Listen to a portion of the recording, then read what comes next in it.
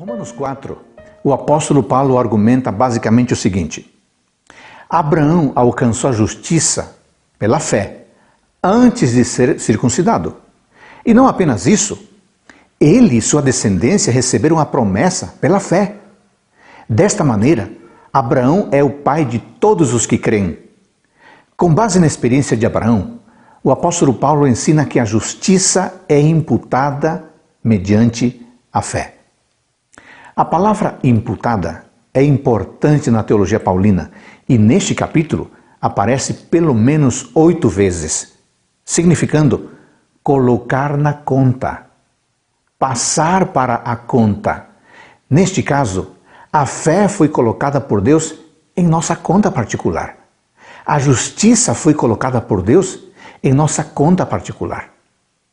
Para fortalecer seu argumento, Paulo toma dois grandes exemplos: Abraão e Davi. Abraão era o mais ilustre dos patriarcas, enquanto que Davi era o mais ilustre dos reis.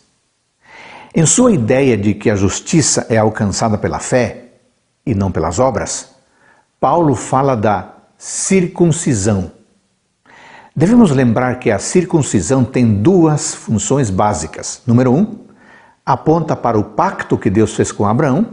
E dois, indica que Abraão é propriedade de Deus.